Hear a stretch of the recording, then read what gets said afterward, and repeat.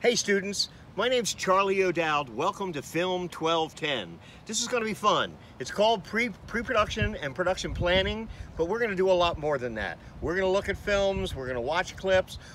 I'm going to open up your world to what's happening in film. This is going to be fun. My name's Charlie O'Dowd. Let's get busy.